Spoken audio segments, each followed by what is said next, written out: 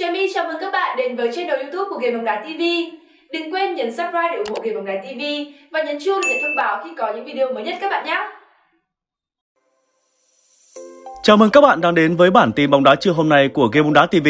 Bản tin hôm nay sẽ có những nội dung đáng chú ý sau. Hôm nay Messi Thái đối đầu Lionel Messi. Cổ động viên Manchester United kêu gọi thay Ronaldo bằng Martial. Pep Guardiola thẳng thừng từ chối chiêu mộ Neymar.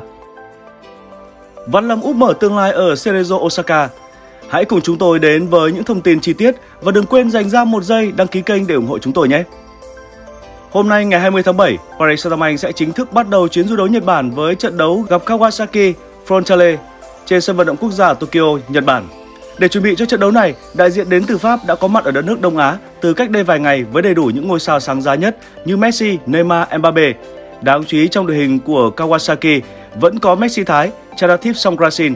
Ngôi sao người Thái Lan đã bình phục chấn thương từ cuối tháng 6 vừa qua và đã sẵn sàng ra sân đối đầu Messi xịn vào chiều nay. Trận đấu giữa Kawasaki với Paris Saint-Germain sẽ diễn ra trên sân vận động quốc gia ở Tokyo, Nhật Bản, bắt đầu từ lúc 17 giờ 30 chiều nay theo giờ Việt Nam.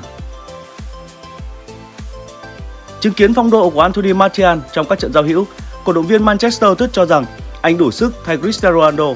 Martial mở tỷ số trong trận Manchester United thắng Crystal Palace 3-1 hôm 17 tháng 7 tại Melbourne. Đó là bàn thắng thứ ba sau 3 trận của tiền đạo người Pháp trong chuyến du đấu trước mùa giải. Trước đó anh cũng phá lưới Melbourne Victory và Liverpool. Phong độ của Martial khiến cổ động viên Manchester tức phấn khích. Một người viết trên Twitter, Martial cháy quá, ai cần Ronaldo nữa. Một người khác tỏ ra đồng tình, Ronaldo có thể ra đi được rồi, Martial đã trở lại. Tôi chưa bao giờ nghĩ có thể nói ra điều này, nhưng tôi thà bắt đầu mùa giải với Martial trên hàng công hơn là Ronaldo. Một ý kiến khác thậm chí quân sư cho huấn luyện viên Erik ten Hag là xếp Martial đá các trận quan trọng, còn Ronaldo đá cúp FA và cúp liên đoàn. Ronaldo không tham dự chuyến du đấu trước mùa giải của Manchester United. Tiền đạo 37 tuổi viện lý do gia đình, nhưng giới truyền thông cho rằng anh đang tìm cách đầu quân cho một câu lạc bộ dự Champions League, Chelsea, Bayern, Napoli Bị đồn là quan tâm đến Ronaldo, nhưng chuyện đi hay ở của anh chưa rõ ràng. Sau khi hoàn tất chuyển nhượng Lisandro Martinez, Manchester United đã quay trở lại với thương vụ Anthony. Đề nghị gần nhất MU đưa ra cho Ajax là 36 triệu bảng, trong khi con số yêu cầu của Ajax là 50 triệu bảng. Lần này MU dự kiến sẽ nâng giá hỏi mua Anthony và đưa thêm một cầu thủ vào trong điều khoản thỏa thuận chuyển nhượng. Cái tên được lựa chọn là Etales. Etales, năm nay 20 tuổi, anh trưởng thành từ lò đào tạo của MU Mùa trước, Les thi đấu cho Swansea và Bournemouth theo dạng cho mượn.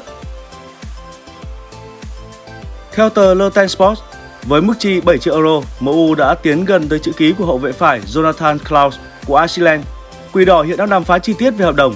MU được cho đã vượt qua ba đối thủ là Wolver, Chelsea và Marseille trong cuộc đua này. Với màn trình diễn ấn tượng trong máu của Lens, Klaus đã được triệu tập lên đội tuyển Pháp hồi tháng 3. Theo thông tin từ tờ Marca, tiền đạo Edison Cavani đã đồng ý gia nhập Villarreal theo dạng chuyển nhượng tự do. Cầu thủ người Uruguay hiện đang là cầu thủ tự do sau khi hết hợp đồng với Manchester United.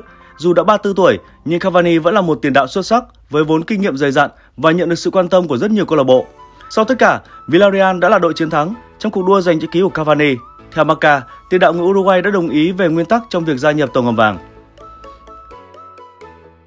Theo Le Parisien, Paris Saint-Germain được cho là đã mời Man City mua Neymar. Tuy nhiên, nửa xanh thành Manchester từ chối. Đề xuất của Paris Saint-Germain với Manchester City bao gồm một thỏa thuận trao đổi cầu thủ được cho là Bernardo Silva, nhưng đội bóng Anh nhanh chóng từ chối bởi huấn luyện viên Pep Guardiola cho rằng sự hiện diện của Neymar sẽ gây rối loạn đội bóng của ông. Barcelona đang chiếm ưu thế trong cuộc đua giành chữ ký của Jules Koundé với Chelsea. Tuy nhiên, đội chủ sân Stamford Bridge đã liên hệ với Sevilla rằng Họ sẽ quay trở lại sớm cùng đề nghị mới sau khi đề nghị 55 triệu euro kèm phụ phí bị từ chối.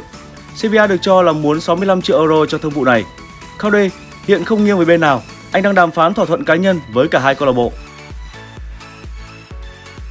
Chelsea đang có những động thái quan tâm đến hậu vệ Benjamin Pavard của Bayern Munich sau khi chứng kiến sự ra đi của Anthony Rudiger và Andreas Christensen trong kỳ chuyển nhượng mùa hè.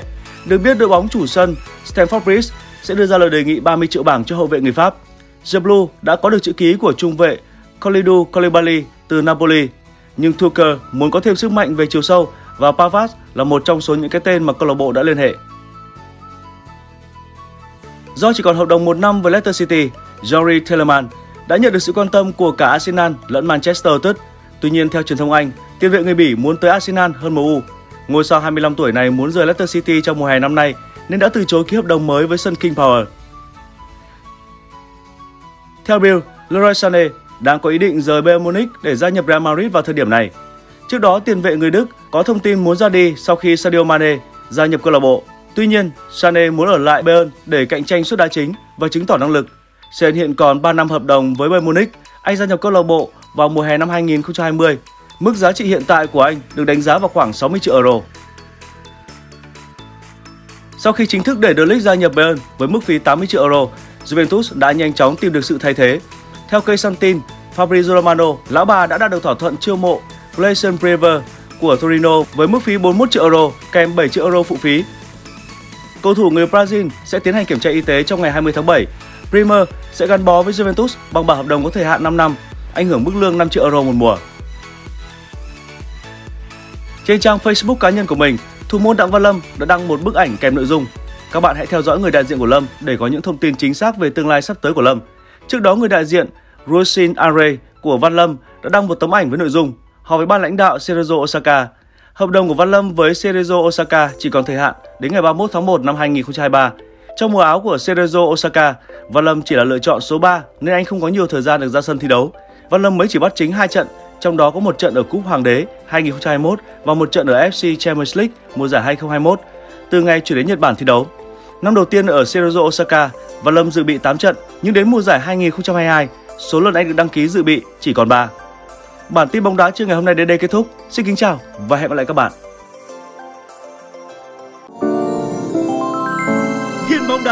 Kết nối niềm đam mê túc cầu.